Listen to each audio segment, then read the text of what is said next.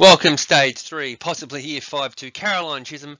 Part one, uh, Caroline Chisholm is this lovely young lady here on the $5 note, a very important part of Australia's history. Okay, let's learn about Caroline Chisholm and why she's important to Australia. Okay, Caroline Chisholm was known as the immigrant friend, and an immigrant is someone who has come from overseas, who have left one country to go to another country. Now, she was uh, she earned the title for her work with poor immigrants uh, uh, who came to Australia in the last century, and we're talking about the 1800s period.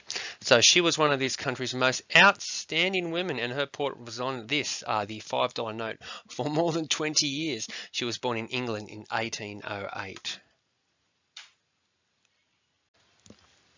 Okay, so when uh, Caroline Chisholm was 22 years old, 22 years old, she married a gentleman named Archibald Chisholm, who was actually an officer uh, in the army, and they actually decided to move to Australia early in their married life. They decided to move to Australia because there was many new opportunities in Australia. It was a new country, there was new things to do. People thought they could make a bit of money in Australia and have a better life, so they moved down to Australia. They got on a big boat and came to Australia. When they sailed into Sydney, it was still a convict town, so it looked like this. It didn't look like like Sydney does today. It was very old fashioned and it was um, uh, it looked quite different to it uh, does today.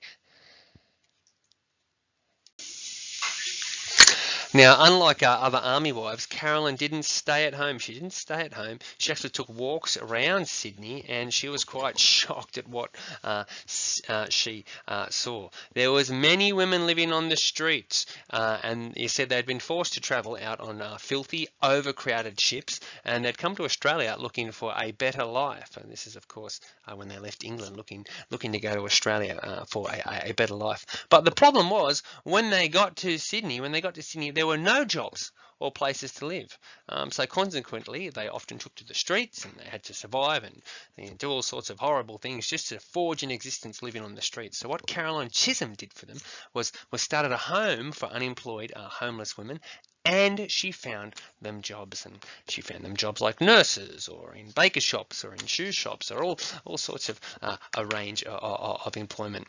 Uh, so this is the first, uh, this is part one, the, the video that I want you to know and understand all about Caroline Chisholm. I want you to take these notes down in your books. Thank you very much. You can rewind me and go through those notes. And I do want you to draw a picture about something that has struck you uh, underneath those notes that you have taken uh, underneath the various headings that we've looked at so far. Okay, thanks for listening.